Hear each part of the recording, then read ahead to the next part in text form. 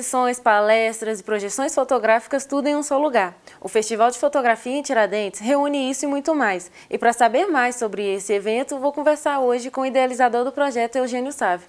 Tudo bem, Eugênio? Tudo bem, Jéssica. Qual a principal atração é, do festival esse ano? Acho que a gente, a grande transformação que o festival teve foi essa ideia de sair para fora do festival em busca dos artistas. Normalmente o festival acolhe, recebe, e dessa vez me veio à cabeça a ideia de sair. Nós fomos a região centro-oeste, fomos uma equipe de quatro pessoas, né? O Bruno Magalhães, que é um fotógrafo da Nitro, que fez a documentação em vídeo dessa viagem, para a gente fazer um pequeno, um pequeno filme que vai ser apresentado. O Pedro Davi e o João Castilho são curadores da exposição do Centro-Oeste e apresentaram também nessa viagem, são dois artistas importantes aqui de Minas, apresentaram nessas cidades que a gente visitou o trabalho deles. Então, essa, essa comunhão de uma equipe em busca de conhecer as pessoas, trazer essa troca, foi muito fundamental para a gente criar um novo paradigma para o nosso festival. Acho que essa é a grande atração, são, são uma, é uma exposição para o nosso padrão ali, que é uma cidade acanhada, com galerias pequenas, uma exposição grande, com 25 artistas. Foi realmente uma, uma novidade, um desafio que a gente se estabeleceu para o festival e que acho que fomos felizes na proposta.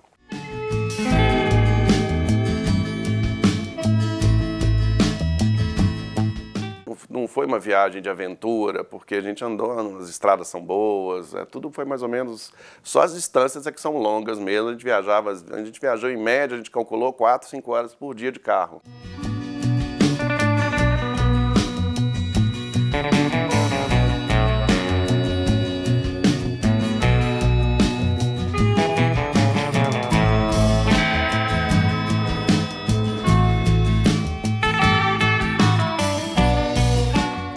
Alguns dias a gente puxava 10, 11 horas, 8, 9 horas, outros dias parava. Então, mas foi, foi muita coisa que a gente percorreu em busca dessa fotografia brasileira que a gente não conhecia.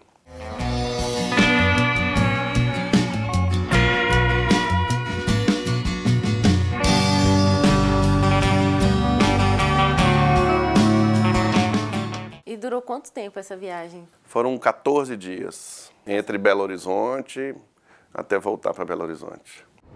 Seria uma viagem que tivesse uma mão dupla, é, onde a gente pudesse falar, pudesse mostrar um pouco do nosso trabalho, oferecer alguma coisa, mas também poder escutar, poder ver.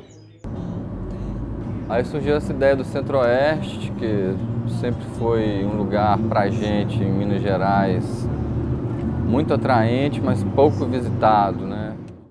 É, você pode destacar para mim algumas atrações que vai ter?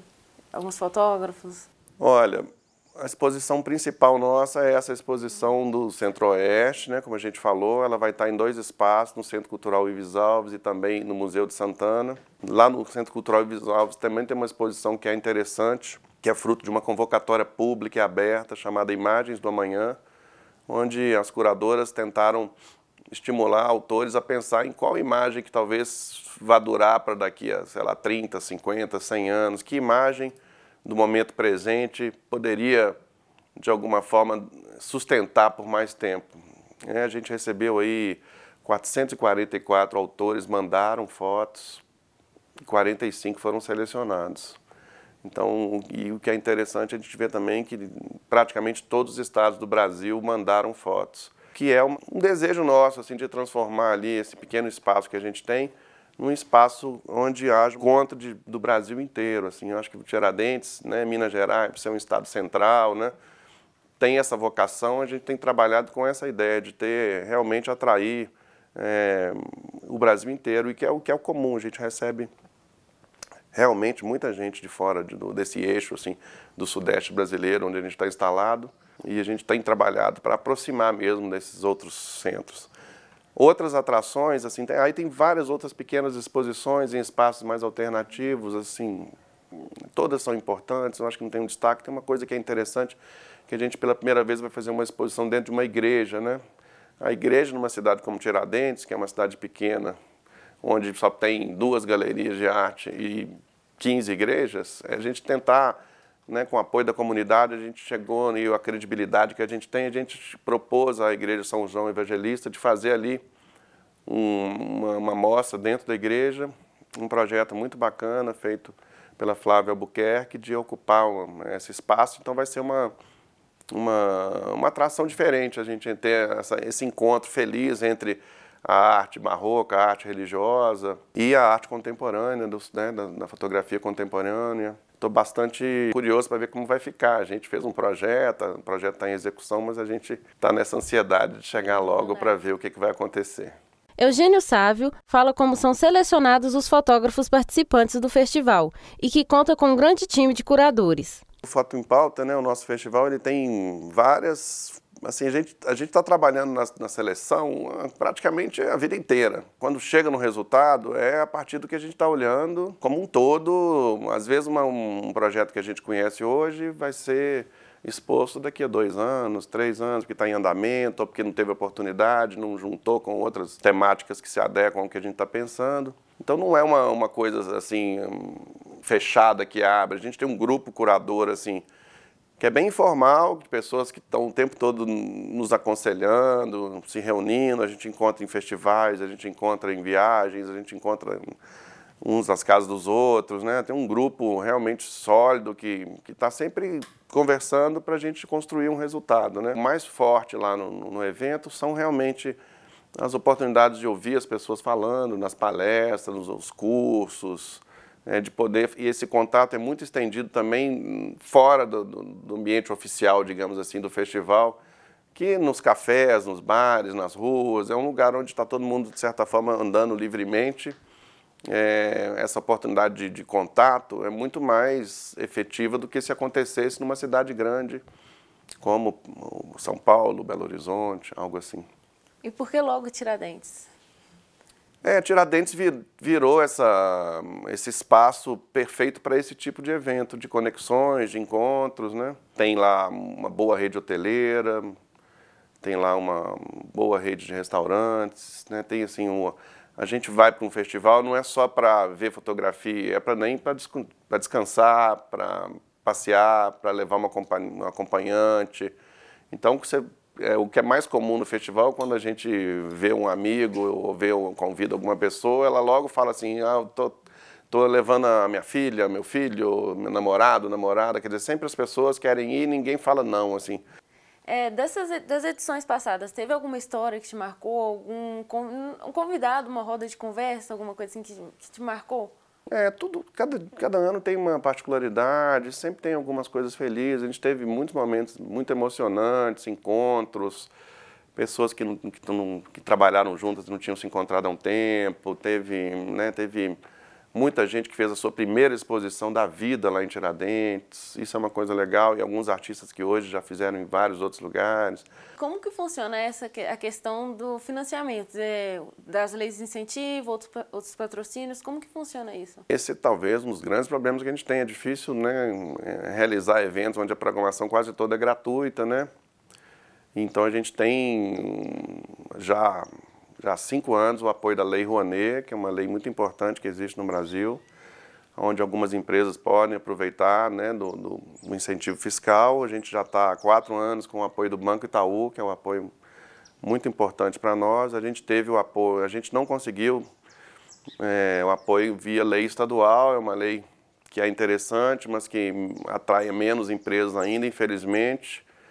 É, nenhuma empresa, por exemplo, do, do Estado quis apoiar o nosso festival, preferiu apoiar outros eventos aí na área de cinema, que eu acho que está é, mais no foco da, dessa, da, da, política cultural no Estado. A gente ficou realmente, nesses últimos anos, contando só com esse apoio da lei federal. Eugênio conta que as parcerias entre o festival e empresários locais suprem as dificuldades financeiras encontradas durante o caminho. Normalmente, esse período que a gente faz o festival, que é entre o carnaval e a Semana Santa é um período onde o turismo fica bem reduzido e o fato da gente provocar um evento nesse período acabou transformando cidade, esse momento na cidade, esse período, num período ativo onde há uma boa inserção de, de pessoas dentro dos, hotéis, dos restaurantes, da rede turística como um todo.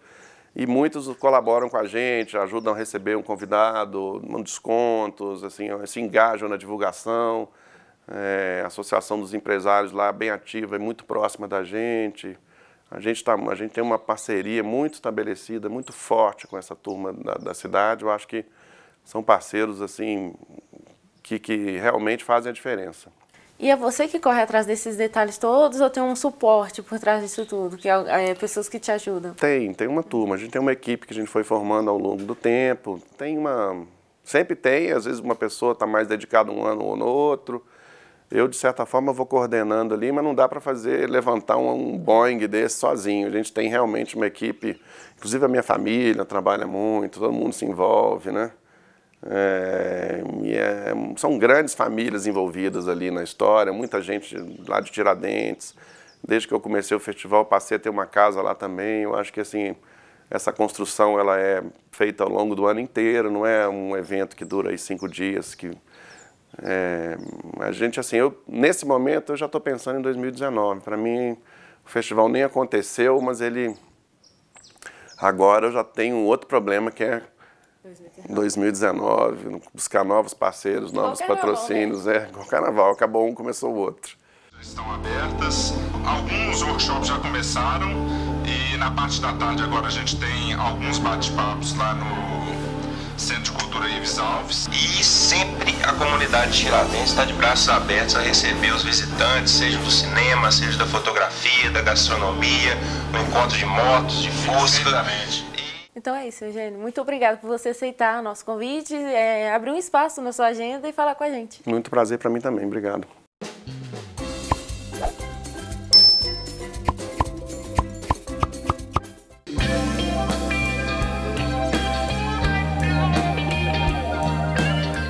Fique agora com uma dica de ouro do fotógrafo Leco Reis. Para quem quer fotografar crianças, que é uma coisa que eu faço muito, é dedicação, paciência e, acima de tudo, saber lidar com a câmera, com os equipamentos fotográficos, saber usar a fotografia mesmo, porque numa hora que tiver qualquer coisa atrapalhando, você saiba resolver, porque a criança, não, é, o tempo é dela, o tempo não é seu. Então qualquer imprevisto que surja, você tem que saber resolver, porque a criança o sorriso dela não volta atrás. Então, conheça seu equipamento, conheça sobre fotografia, vale a pena estudar. Mas sem dedicação e paciência, nada feito. Tá bom? É maravilhoso, mas tem que ter paciência. Eu amo.